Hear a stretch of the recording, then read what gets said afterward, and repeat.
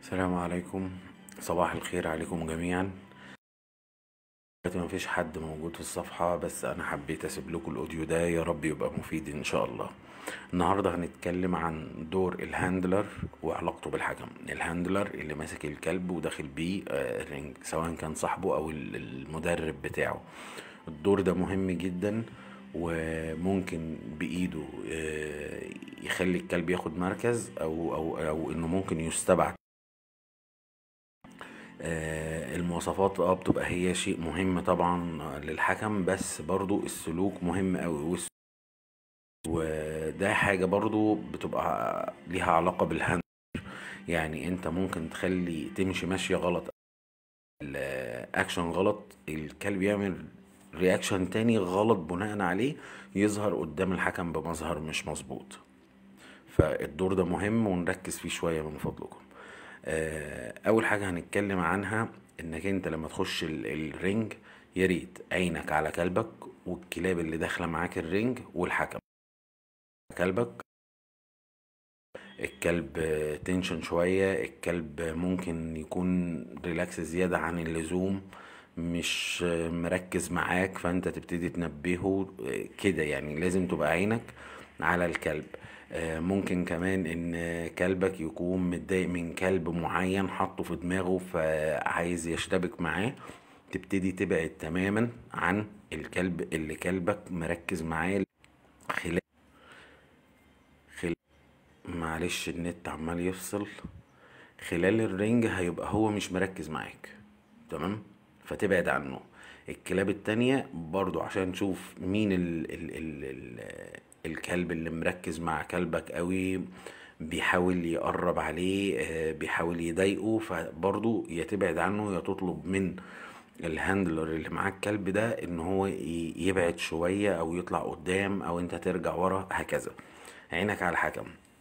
الحكم بيبقى راجل واقف شوف آه بي بيتكلم كام handler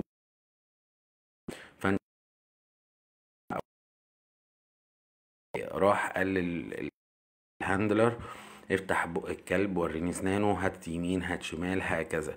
اللي بعده هكذا. ال ال ال مع التكرار ده أكيد ال- ال- الحكم برضو بي ممكن يمل شوية. فأنت تشوف الحكم عايز يبص على إيه؟ وت تساعده. يعني أنت تشوف هو كان بيبص على إيه في المتسابقين اللي قدامك بيبص على السنان من قدام والكلب قافل بقه ومن جنب كده عشان يشوف تطابق الفك العلوي مع السفلي يبقى انت تجهز له الكلب وهكذا. آه، يعني دي حاجة مهمة قوي إن عينك على الحكم عايز يشوف إيه عشان تظهره له في الكلب. تمام؟ آه، المسافات تاني حاجة هنتكلم عنها المسافات ما بيني وما بين المتسابقين التانيين. آه، دي بتعمل مشكلة كبيرة قوي ليه؟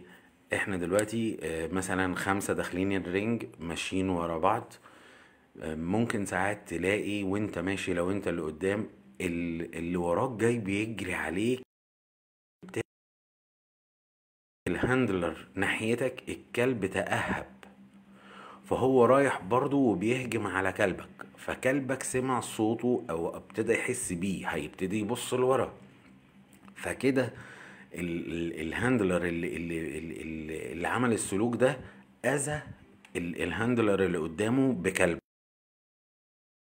من فضلكم نظبط خطواتنا على بعض. يعني أنا ماشي التاني وال handler اللي قدامي بطأ شوية. أبطأ أنا كمان. أنا مش قطر مش هفضل بجري لحد أما أقوم خبطه وخبط كلبه.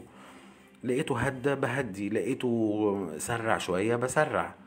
وبرضه هكذا اللي اللي في آخر آه آخر متسابق آه بيبقى يعني بيمشي بالراحة قوي قوي لحد ما ممكن أول handler اللي هو يعتبر لف لفة كاملة قرب منه. فيا ريت نظبط خطواتنا مع بعض. لقينا ال ال ال الأول أول متسابق بيمشي بخطوات سريعة نظبط نفسينا عليه. زي عربيات القطر المسافات اللي ما بينها واحدة. أول عربية بطأت الباقي بيبطأ برضه. تمام؟ آه حاجة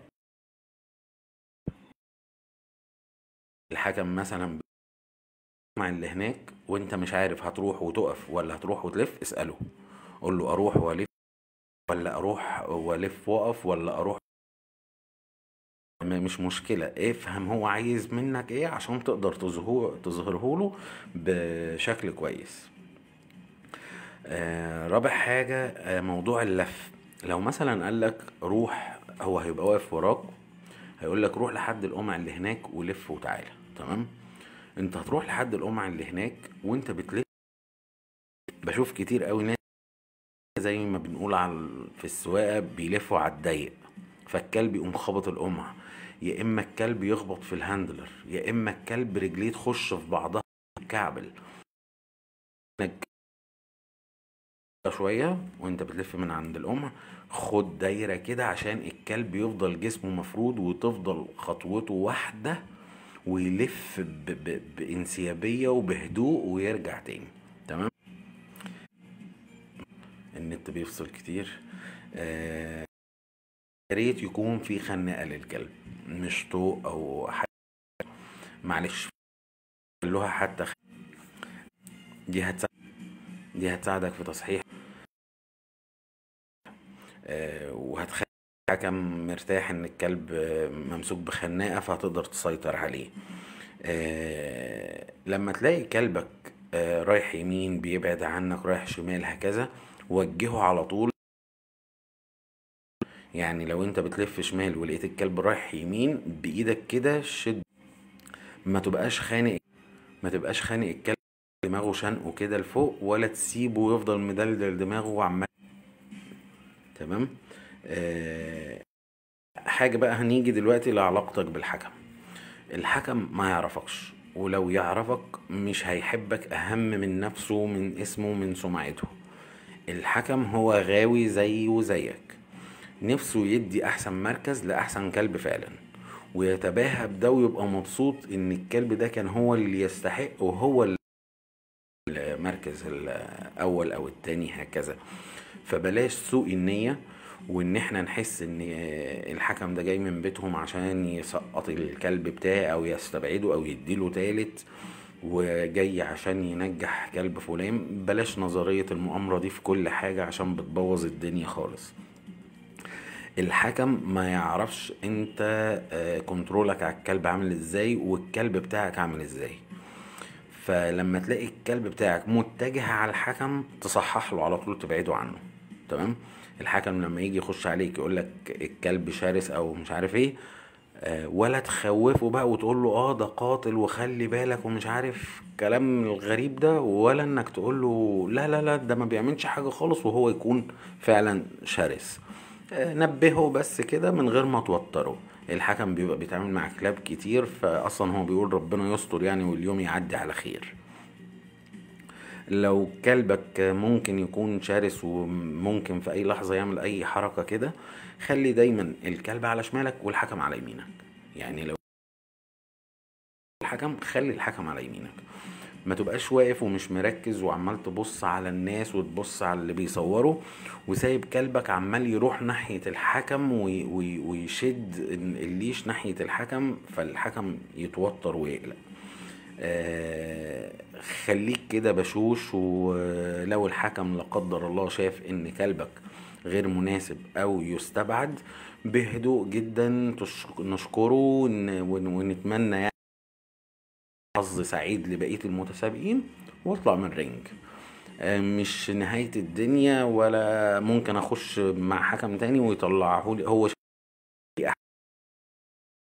بسيط جدا. الحكام بيبقى ليهم آه، وجهة نظر معينة. آه، بلاش أتجادل وأتكلم معاه أثناء ال ring. لأن أنت كده هتحرج الحكم. وممكن لو دخله شوية في فئة عمرية تانية بكلب تاني آه، يعني يعني الحكم هيبقى لو انت عملت مشكلة كبيرة انت ممكن تشتته. داخله بكلب لازم يستبعد. فممكن هو يقول طب أنا لو استبعدت دلوقتي الكلب ده هيقول إن أنا مستقصده. طيب ولو اديته مركز يعني انت هتشتته وهتخلي الحسابات مش فير خالص.